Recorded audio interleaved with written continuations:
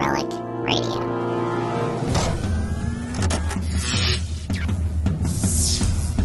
This is Relic Radio Sci Fi, old time radio, science fiction stories from relicradio.com.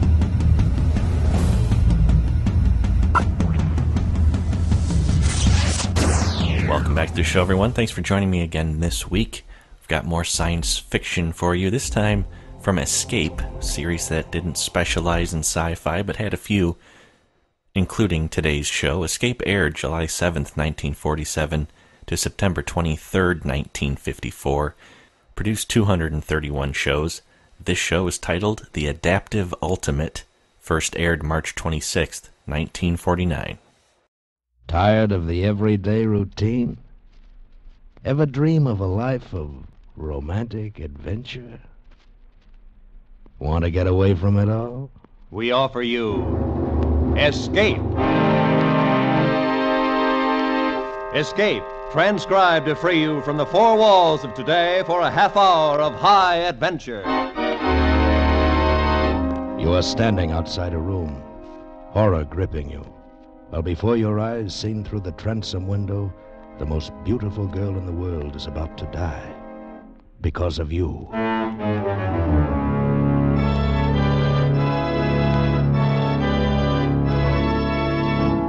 Today, we escape from reality with a fascinating story of a girl who lived a weird second life, as John Jessel told it in his gripping story, The Adaptive Ultimate.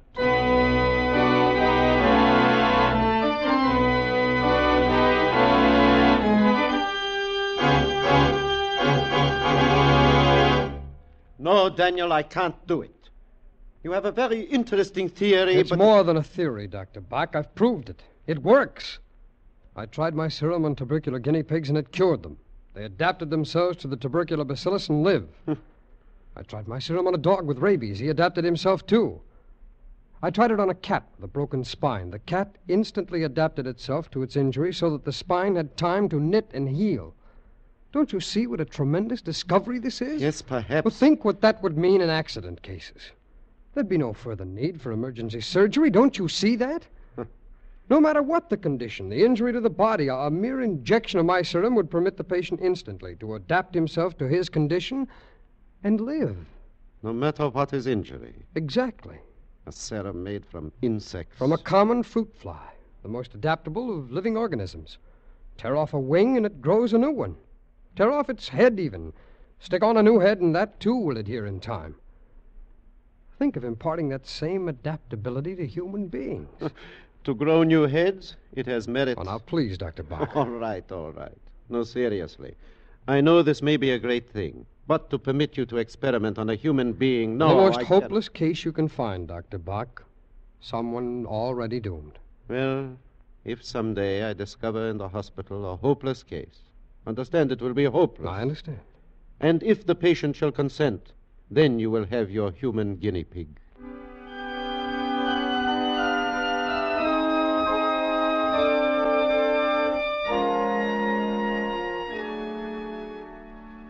Well, Dr. Scott, you requisitioned for yourself a hopeless case? Permit me. Here is your guinea pig. What is it, Dr. Bach? TB? Yeah, final stage. A matter of hours at most. Hmm. She might have been attractive once, but now, hair like string, skinny like a skeleton, and flesh like wax. Dr. Bach, you call this a fair test? I said hopeless. But I didn't say a corpse. The lady is returning to life, such as it is. Well, Dr. Scott, I regret I have not a more palatable subject for your experiment, but this is what I promised a hopeless case. It's all right, I'll try it. Oh, what's her name? Let me see, it's on the chart here. Uh, Zelas. What was that? Her name is Kira Zelas. Oh. Young lady. Permit me, I am Dr. Hermann Bach, Chief of the Staff, and I would like to introduce one of our promising young doctors. He wants a date, I suppose. Miss Zelas. Hello, Brown Eyes. What? Your eyes are brown, aren't they? Miss Zelas, you see, I've perfected this serum. I like brown eyes. This, um, this serum might help you, but it has never been tried on a human being before. I, Well, I thought if you have no objection. What are the odds? Odds? Well, actually, you've everything to gain. And nothing to lose. Well. How right you are. Okay. I'm. I'm all yours, Brown Eyes. Go ahead. Experiment away. Dr. Bach, prepare her arm.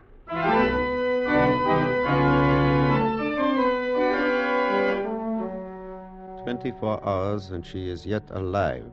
I would have said yesterday it would be impossible she should survive the night.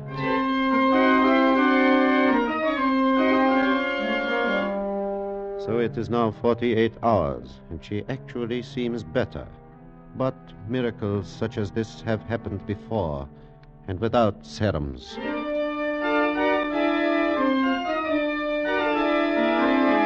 A week, and she still lives. Each day she becomes better. It is miraculous. The spots on her lungs are disappearing. Her coughing is stopped. There is no sign of bacillus in the culture. But even more amazing, a reaction to abrasions, skin punctures. Yesterday I took a blood specimen. Before I had one cc, the puncture in her skin had closed. Yes, in 30 seconds.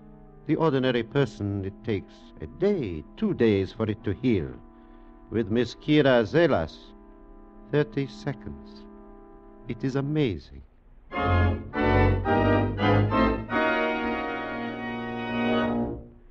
Then I will not dispute it. Your serum has worked a miracle.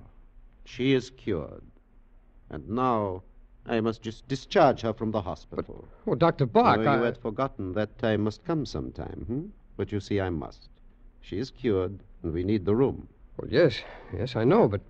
Well, well, she should be under observation. We don't know what effects will show up. I the- think, Daniel, you have an extraordinary interest in Miss Zelas.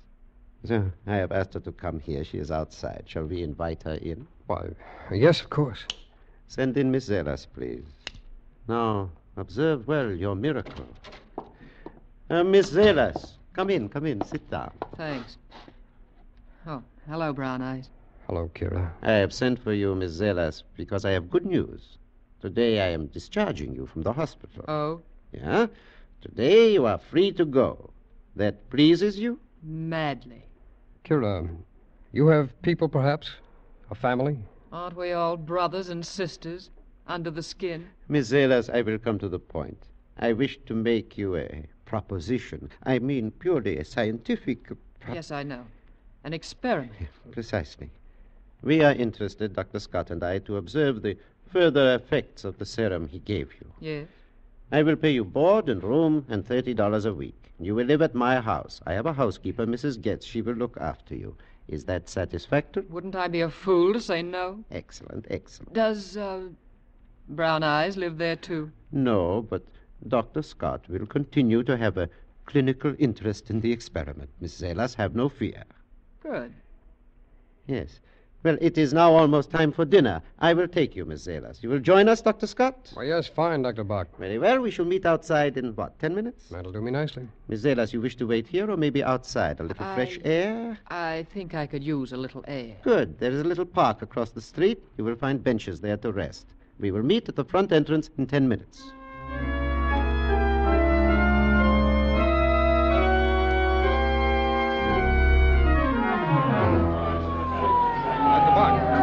Dr. Bach, what is it? What, what's the matter? Some sort of commotion across the street in the park. Uh-huh. Where is Kira? Well, I, I thought she'd be here with you. Perhaps she is still over there in the park. What do you suppose? Come on! Dr. Bach, it is Kira. Kira, let, let me through, please. Let, Kira, let us through, please. Officer, what's happened? What is this? Why are you holding this lady? You know this woman? Yes, of course. What is it? What's the matter here? Plenty. Your lady friend here merely walks up to an old gent about 60 or so, picks up a nice hefty rock, and beats his brains out. Officer, there must be some awful mistake. Yeah, her mistake. Cold blooded murder. Come on, sister. There's the wagon. But, officer, Uh, listen- You'd better come along, too, mister. Mona Lisa here don't seem to be much in the mood for talking. We'll need someone to tell the desk sergeant her name.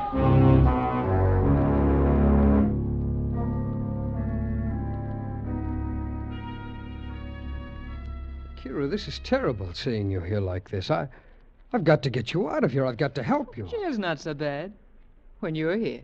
Well, listen, this, this is all a terrible mistake. I- If you'll tell me what. Mistake? Why, why, yes, of course. You. Kira, you, you, you didn't kill that man. If I said yes, what would you do? Why?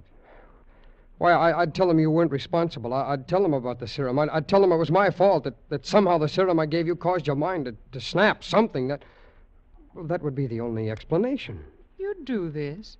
Ruin your career, no doubt. Just to save me. Oh, yes, of course I would. And what would they do to me? I, I don't know exactly. Put you away under observation. Something. Kira, we. Then my answer's no. I did not kill the man. Oh, don't worry. I won't be convicted. I'll take care of myself very well. I'll, as you say, adapt myself to the situation.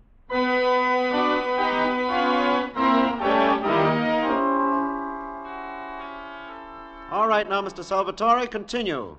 Tell the court in your own words precisely what happened. Uh, This old man, you see, is buy circus peanuts from me every day. For months, every day.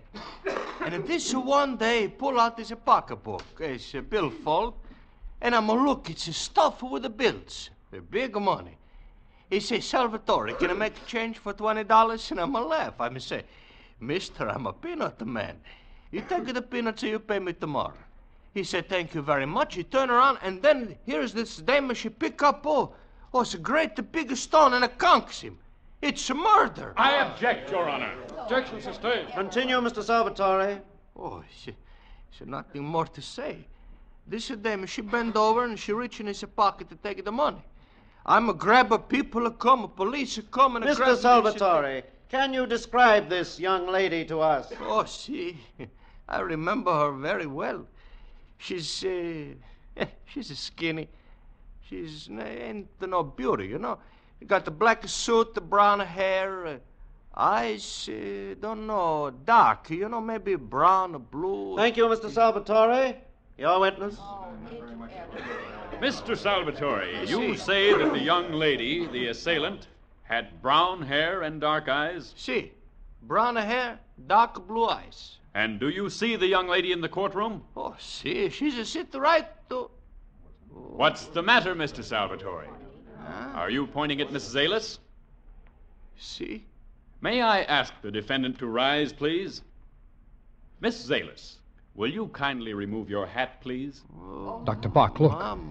Her hair, it's, it's become the color of aluminum. Oh. Your Honor, I submit that this defendant does not possess dark hair, nor, if you will observe, dark eyes. I am prepared, therefore, to submit a lock of her hair to be tested by any chemist the court may appoint to prove that the pigmentation is entirely natural. Now, Mr. Salvatore, do you still say that this is the young lady you saw in the park? I, I'm think she's. Uh, I- Is she? Mamma mia, she, no!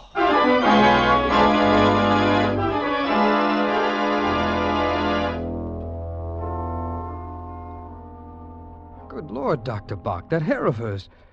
Did you see it? It was the color of aluminum. She was beautiful. Yeah, yeah, beautiful. And so she has been acquitted. They call her innocent. Daniel, I am a convert to your great principle of adaptability. But where will it end? You start with an ideal, and you wake up to discover you have created a monster. But she was acquitted. It was all a mistake. You really believe that?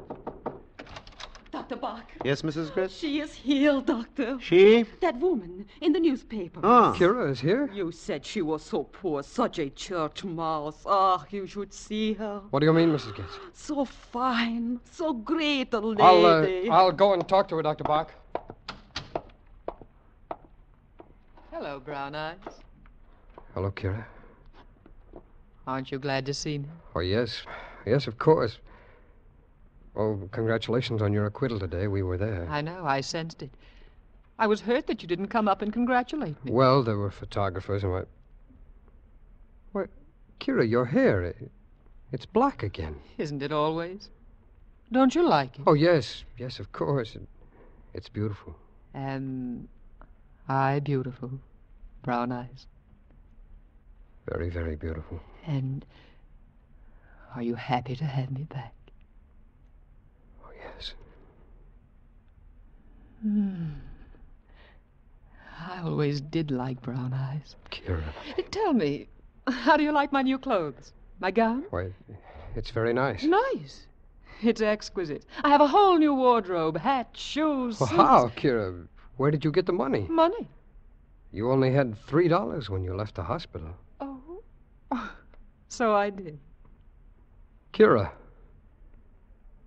Kira, you did take that wallet from the old man. Why, naturally. You You You did murder him. Certainly. Oh, come. Don't look so shocked. Oh, I'm tired, Brown Eyes. You'll excuse me if I appropriate Dr. Bach's room. Good night.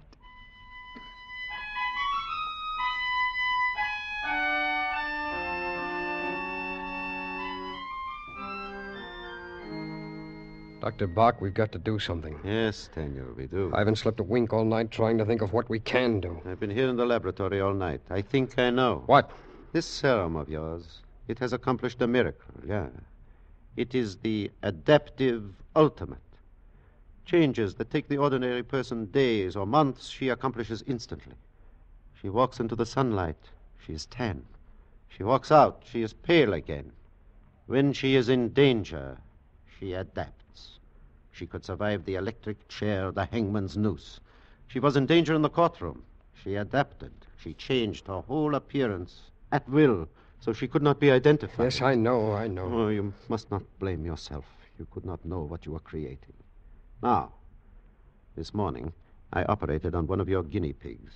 I found this the pineal gland hypertrophied. That is what causes it. Well, then, then we could operate and, and maybe change her back. Yeah, but she can adapt to anything, anesthesia included. How can we operate? Unless we get her consent? Well, perhaps. Oh, you are dreaming, Daniel. Do you really think she will consent now? Now that she has power? Perhaps more power than any human being ever possessed before. Power for evil. And she has already killed one man, remember. But if we watched her, Doctor, kept her under Yeah, guard. yeah, again, Pygmalion falls in love with his Galatea. No, Daniel, no. She must be destroyed. We must perform surgery at once. Well, she'll die. She will go back to what she was, with but a few hours to live. It is best, Daniel. Yes, I suppose so. Yes? Yes, Mrs. Getz? Hmm? Danke. What is it, Dr. Bach? And so perhaps she is also telepathic.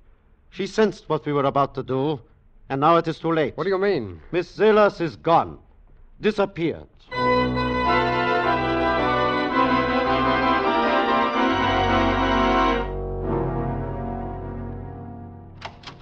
Dr. Bach, did you call for me? Yeah, Daniel. Have you seen the evening paper yet? No, not yet. Then here. After two months, there is news of our Miss Kira Zelas. What? Let me see that. Where? Oh. The surprise of the evening was the appearance of John Callan, ambassador at large, diplomat extraordinary, the man slated to head the forthcoming World Atomic Energy Control Commission. Mr. Callan, one of Washington's confirmed bachelors, squired the. the gorgeous Kira Zelas. You see? She has become gorgeous, our drab little urchin. Miss Zelas, the dazzling beauty who affects a dark wig by day and a white one at night. A great power of adaptability, courtesy of Dr. Daniel Scott. Dark by day, white by night. Well, what are we going to do, Doctor? Do? The World Atomic Energy Control, the one real hope of world peace. Kira isn't interested in peace. What can we do? Surgery, I know, but politics? We must wait and see. We must wait and see how far your mad woman will go. Washington is agog with rumors about the romance between glamorous Kira Zelas and John Callan, the newly appointed head of the World Atomic Energy Control, one of the most powerful political figures on the globe. John Callan leaves tomorrow for the crucial atomic energy conferences at Geneva, Switzerland, and sailing on the same boat as the exotic Miss Kira Zelas, with whom his name has been frequently linked. Rumor has it Miss Zelas acts as a sort of unofficial assistant to Mr. Callan, thus making her one of the most important women in the world. Glamorous, exotic. Of such fragile stuff is world peace fashioned these days, Daniel. I wonder what she intends to. Somebody calling at dinner time? Oh, sit still, Dr. Bach. I'll see who it is. Yes? Uh, Kira. Hello, Brown Eyes. May I come in? Why, yes, of course. Oh, ho. Our exotic guinea pig, hmm? Good evening, Dr. Bach. I'm not intruding. Of course not. You're very kind. John and I, you've read about Mr. Callan. Oh, yes, yes. We're leaving for Europe tomorrow for the conferences in Switzerland. Yes. He had a series of meetings to attend tonight, so I told him I would stay here. You're staying here? I took the liberty of saying you were my uncle, Dr. Bach. Oh. John will call for me in the morning on his way to the airport. We're leaving at eight. I do hope I'm not too late for dinner. Not at all. In fact, we're very happy to have you here. Aren't we, Dr. Scott?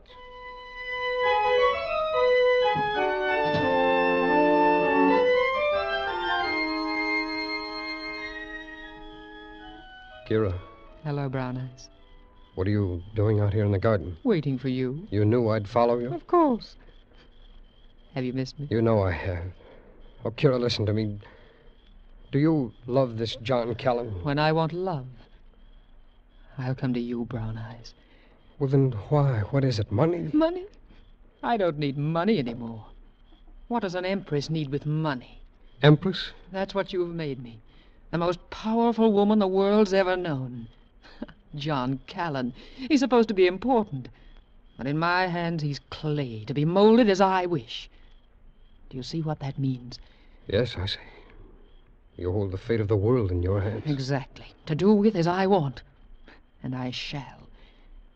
Would you like to rule the world with me, Brown Eyes? Kira, you're evil. What is good? What's evil? Come here, Brown Eyes. Look at me. And forget such things.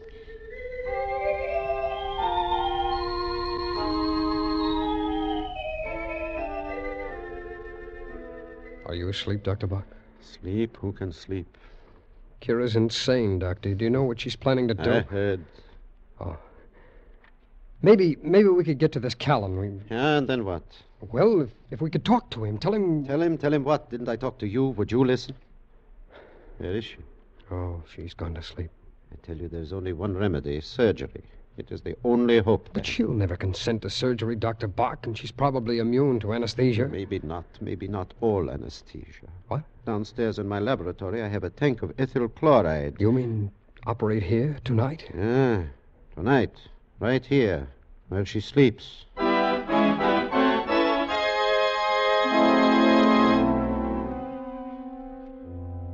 right, then. Now stop staring down at her. Pour the anesthesia onto the cone. Hurry.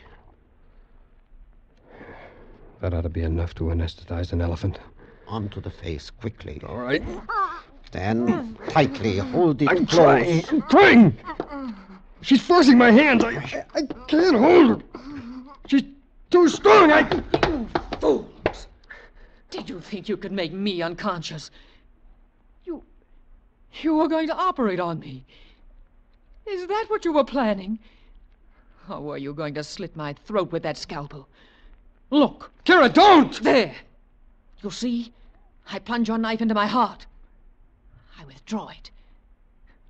And the wound is healed. Now, go away, both of you. I want to sleep. John will be calling for me at eight.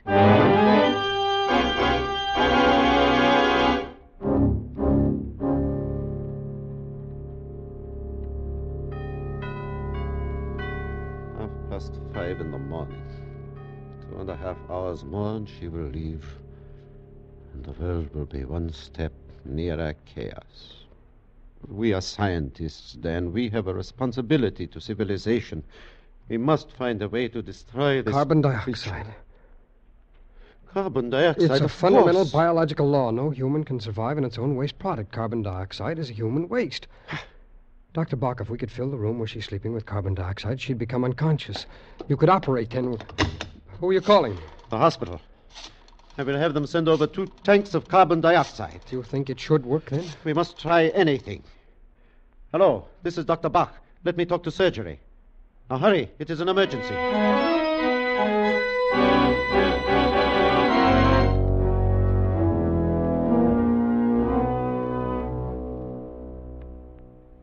Is ready. You sealed the crack under the door? Yes. You closed the window? Yes. All right. Let us start the gas.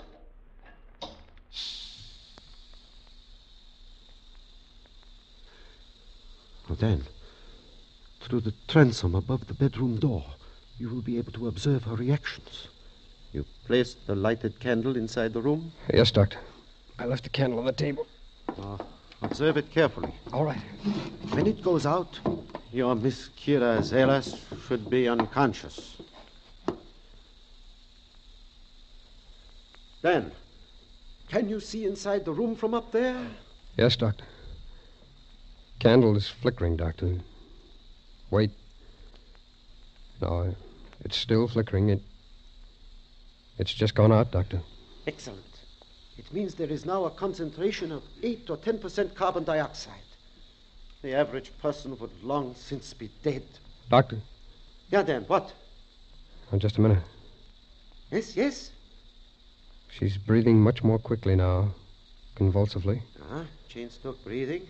She. She's opening her eyes now. What? She's.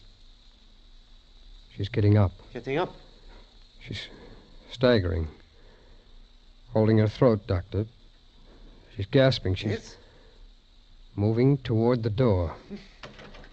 She's trying to unlock the. So, so. She's seen me. She. She's trying to. Well, well, Try- well. What is it? She's collapsed.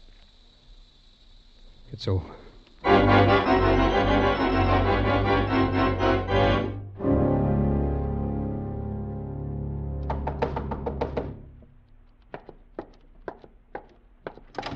Yes? How do you do, Dr. Bach? I'm John Callan. John. Ca- Why, yes, yes, of course. Come in. I haven't taken you away from anything. Oh, no, no. We were performing some surgery, my associate and I. I, I have a miniature surgery here for emergencies, and we have just finished. Is that the patient on the table? Uh, the- yeah, yes. Is she Yes, she is dead. too bad? Seedy looking creature, wasn't she? She was a charity case.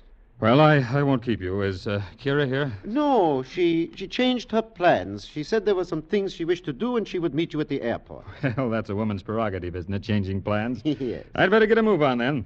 Nice to see you, Doctor. I, I hope we'll meet again when I return from Europe. Yes, that will be nice, Mr. Callan, and good luck on your mission. Uh, thank you, sir. Goodbye. Yeah, goodbye. Well, Daniel, maybe we will get some sleep now. Dan, Huh? Oh, I'm. I'm sorry, Doctor. I, I was daydreaming. She's lovely, isn't she? lovely. Yeah, then lovely. May she always be in your memory.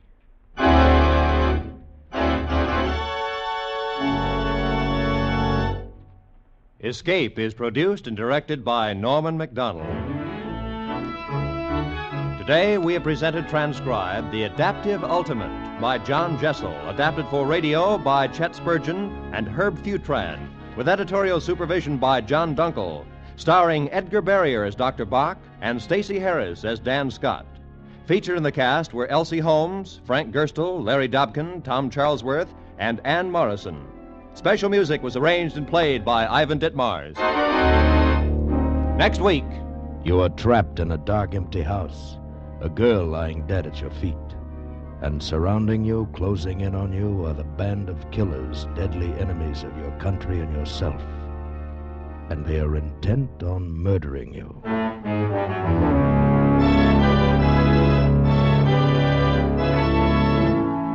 next week, we escape with the famous story Confidential Agent by Graham Greene. Be sure to tune in at this same time next week when once again we offer you Escape.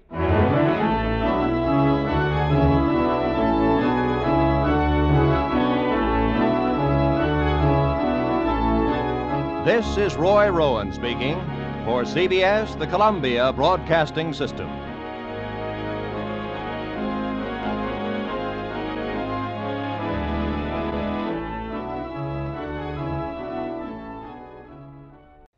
That's going to do it for this episode of Relic Radio Science Fiction. RelicRadio.com is all the old time radio you'll ever need. And links to past episodes of this show. You can find links to the blog, our forum, our listener community called the Speakeasy. You can find all that linked to at relicradio.com. You can email me, relicradio at gmail.com. Don't forget to visit shoprelicradio.com, all one word. Check out the Martian Chronicle collection if you're into some Ray Bradbury on old time radio. That's available there. Thanks for joining me this week. I'll be back next week with another episode of Relic Radio Science Fiction.